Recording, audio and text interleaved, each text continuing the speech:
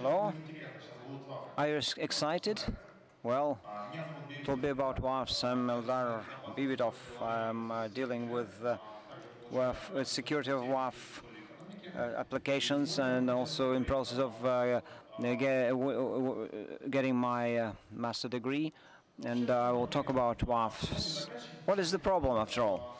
Customers always approach, often approach us to uh, ask for protection for their web applications. But the most uh, appropriate protection for things like APS uh, uh, and uh, WAFs of the next generation, WAFs looks more promising. The problem is there are too many of them, and each of them is based on some uh, special ideology and some specificities in terms of integration into infrastructure and some special requirements for the staff mm, uh, training now I'd like to look at uh, WAFs uh, from the point of view of uh, protection uh, of uh, web applications. WAF needs to ha- uh, have six protection mechanisms to guarantee data security for web applications.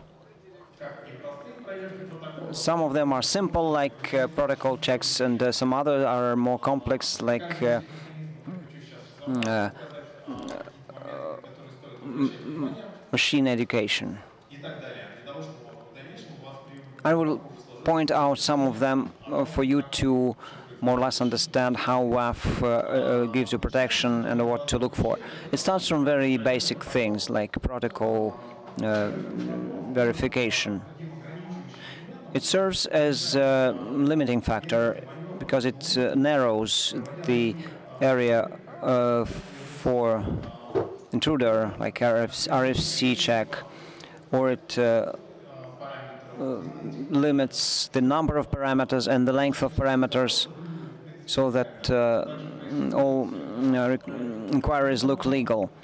It also there also checks for time parameters. Uh, and uh, finally, for looking, it looks for illegal bytes. The next uh, line of protection is blacklisting in the form of signatures. Signature is quite an old protection method. In the WAF context, it's still relevant because web applications which are um, modern and which are published now are very subject to attacks. And uh, it's actually a, a beneficial thing. WAF uh, can uh, uh, is, has the mechanism of uh, uh, model building, and uh, w- gives you protection when the sample uh, model is not yet built, and it can also affect the teaching process and makes it more uh, clean. If you compare different vendors' signature analysis, you, you, you see the difference in the number of signatures.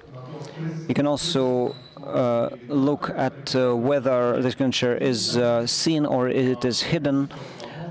And also some vendors may produce signature as uh, correlation rules. Uh, some modern vulnerabilities, even well known, are not always effectively uh, found uh, with just one signature. It takes some more sophisticated security policy which takes into account the frequency of occurrence, the meaning of the headings, the range of IP addresses, and other things. So when we move from blacklists,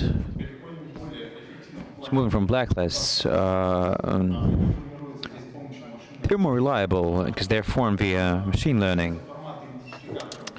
There are the different formats of the access identifiers. There's the Athlon model, and all the elephant that doesn't correspond to the model is thrown out as illegal. So this kind of a profiling. So we compare different vendors.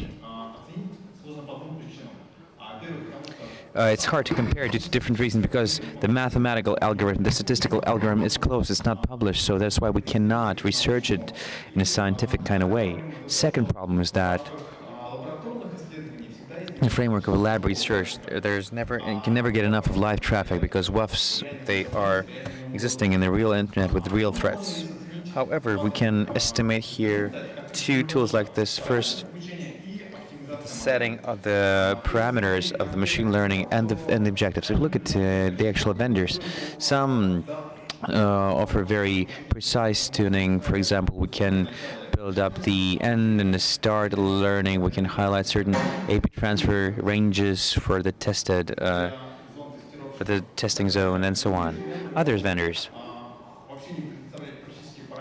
could never could not even provide the logging parameters apart from the, the, duration of the period. And this is what should be prepared for when you make the choice. Optimization of the standard model works uh, as the protection mechanism from the underlearning of the machine when the app was changed by the developer, uh, which often happens during the cycle of development. When the model starts to fall significantly, the optimizer aggregates it, and according to a special condition, the um, the object is being sent to relearning. So by default, if every hour the object uh, is found, probably it's falsing, and there's a need to relearn, reteach the object. When we see it in the slides, So we start when we build the object into our standard model, and this is the condition when we consider it done. The next tool for protection is our user um, rules. This is a wider setting. The point is that the operator of the the applied level is done a lot of things, validation, parsing, because the administrator probably wants something of his own, the pin tests, the tasks to split the access to web apps, and so on and so forth. And he's thinking how he'll be able to use all those rules for internal rules. So WAF would give those opportunities not only to internal mechanisms, but also to the administrator as the tool.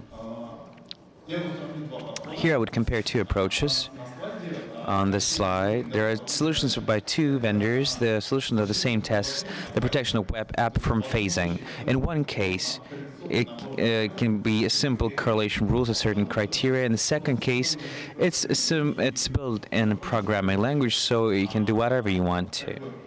So each would choose anything he wants depending on the qualification and his wishes, uh, the client's wishes. So if there's a range of certain details and the staff would be able to uh, work on that, it's worth choosing the programming language. But if the uh, B administrator, administrator B is not qualified enough and needs to react quickly to certain aspects, then it would be better to choose the coordination rules out of uh, ready-made criteria. The next protection tool, I would not say that it's a, a must, but um, it's interesting in the context of WAF because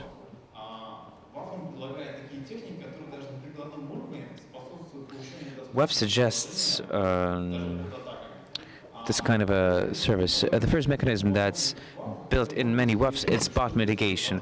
Uh, so as a response there's the JavaScript built into the web app, which according to certain parameters identifies whether the uh, this machine has been infected or not. So if machine is infected, then probably the query that uh, came to it was the part of the activity of the botnet. And this kind of JavaScript can cut off a lot of botnets from the attack, which will decrease its efficiency.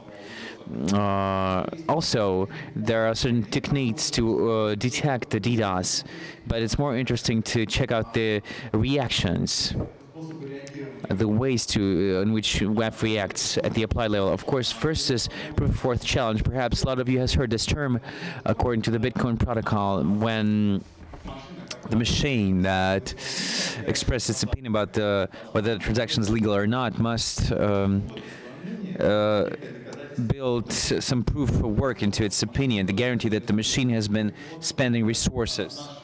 So when our website is under attack, we build in uh, this uh, task uh, into each response of the web app, uh, hence uh, slowing down the source and making each client spend a certain amount of time to solve the task that we sent them. If the solution is wrong, then we throw out this kind of query. But as a rule, if it's the real machine, if it's a browser, it will spend some time and give us the right response. So let's kind of slow down at the source. Very interesting, slow down the source. The next mechanism is CAPTCHA challenge. Everybody knows this. The session is validated by the CAPTCHA, and it's it's identified as a human one. And shaping blocking on its level, we uh, give certain line to every user which cannot be exceeded. And the last thing here, which is in built in WAFs, it's the integration. Overall, WAF as a modern protection data protection tool must be very well integrated into the general landscape. That's that increases its efficiency and the efficiency of the entire IT security of the enterprise. Here, it's important to be integrated into the vulnerability scanner and realize the virtual patching function, the of automatic updates of our vulnerabilities. It is important to integrate correctly with CCM systems and another possible integration with the AWS activities monitoring, WebDB correlation, and also the modern trends like reputation services and uh, fraud prevention services. This is where I would probably finish my presentation for today. No need to worry. Keep calm. Choose your WAF so another thing would I love to ask uh, to show is show a certain file. So things I told you about. This is the tip of the iceberg. When I first addressed the question uh, of the WAF choice, I made this huge list of criteria where I put into um, uh, account all these details to uh, compare these products on more academic basis. And now, we're when new people, new products come into our company, we get them through this beautiful model and have the understanding of what is there, what isn't there, and, and on and on. Thank you very much. We'll gladly answer your questions. Thank you.